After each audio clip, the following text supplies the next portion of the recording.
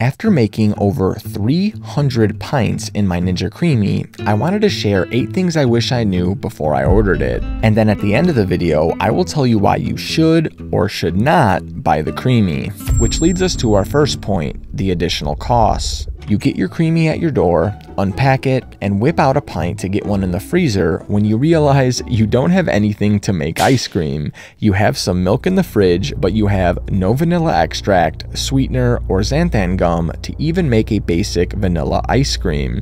There is good news and bad news. The bad news is it will cost you around $60 to get these items in bulk. The good news is once you have them, you will be able to make ice cream for months before needing to buy more. This also doesn't include things like cocoa powder, protein powder, or the other various mix-ins you may want to use. Realistically, you are looking at another 60 to $150 investment on top of the price of the Ninja Creami itself, and that is just for dry ingredients. We can't forget about another additional cost, which brings us to the second thing I wish I knew pint withdrawal. My Creami only came with one pint, and I knew right away I needed more. So when I ordered my Creami, I also ordered two more pints. Being a rookie, when I received my pints, I only made one, waited 24 hours to eat it, and realized I wouldn't have one for the following day unless I made one right then and there. Ah, oh, what the I started making three at the same time, which is also when I realized I needed to create different flavors so I could eat what I had a taste for that day. I bought two more pints, but that still wasn't enough. The cycle continued until I had 15 pints rolling at one time and various flavors on the ready for whenever I needed to satisfy my sweet tooth. While I wouldn't change this for the world, this also costed me another $150.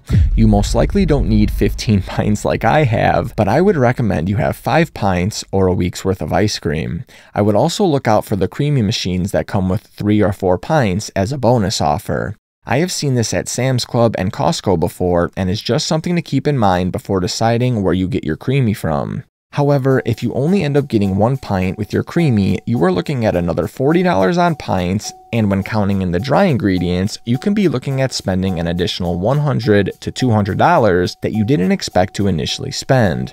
This will take what you thought would be a $200 investment closer to $300 to $400.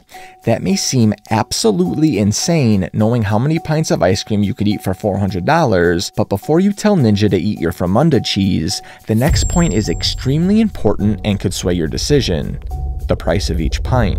Let's start by taking a look at Walmart's website and looking at other low-calorie ice cream pints. A pint of both Halo Top or Nick's will run you about $4.50. These two brands are a majority of what low calorie ice cream consumers will buy, so we will stick with the pricing of those. I think it would be fair to assume only an avid ice cream consumer would be buying a Ninja Creami, so if they were buying pints at the store previously, I would also assume they would eat about two pints a week. This would equate to $9 a week or $468 per year. When looking at the Ninja Creami, every pint of my better vanilla base would cost about $2.16. Even with mix-ins or other dry ingredients, let's say we are looking at $2.50 a pint. At a consumption of 2 pints per week, we are looking at a total savings of $4 every week or $208 every year. Since the ingredient prices are already counted in the price of each pint, it would only take about a year for the machine to pay for itself. And I have a fair share of people I know that consume 4 to 5 pints a week, which would pay for itself in half that time. That is only part of the equation though.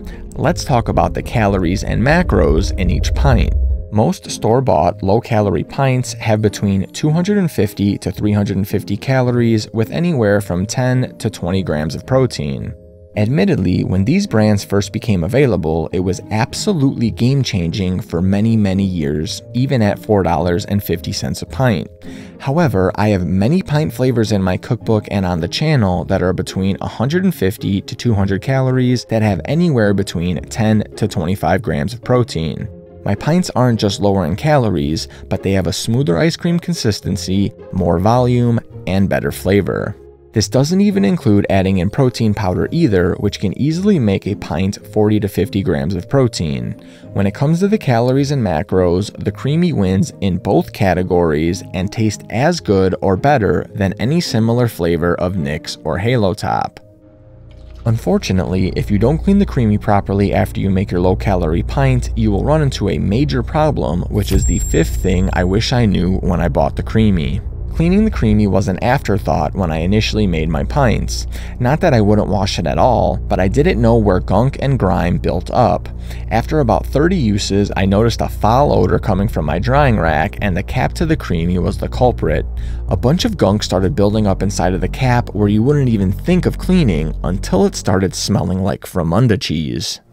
Fromunda cheese, the cheese found in the gooch area that accumulates from not incorporating a proper hygiene routine like showering daily.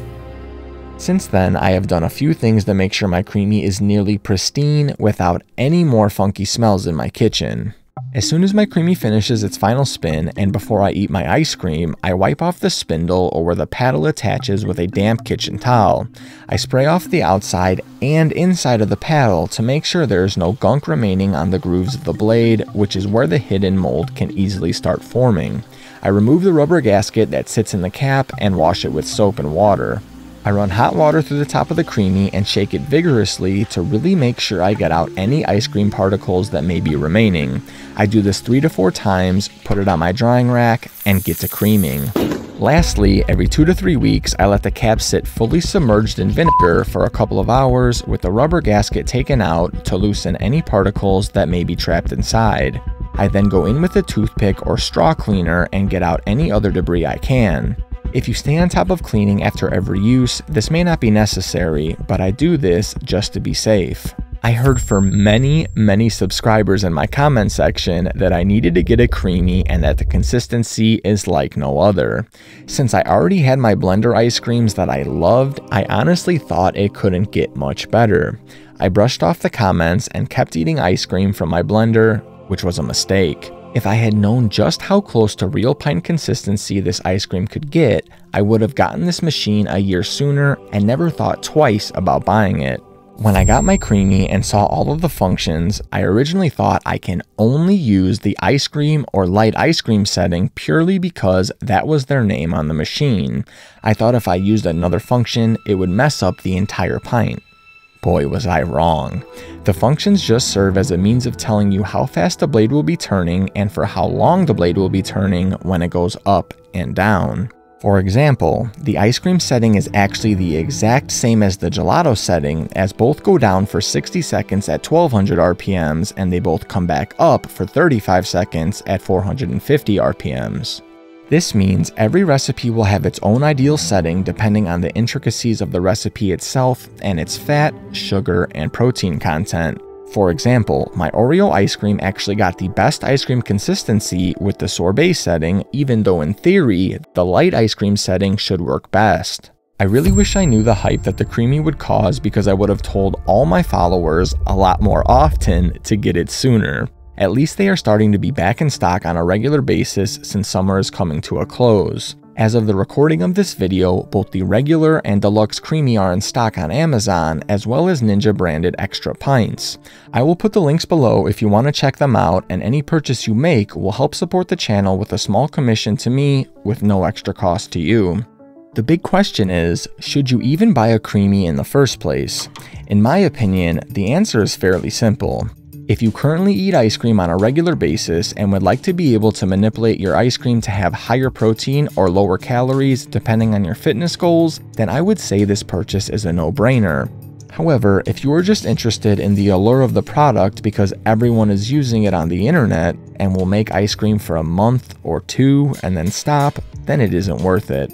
As someone who eats ice cream year round, the Creami is a product I wish I purchased the first day it released.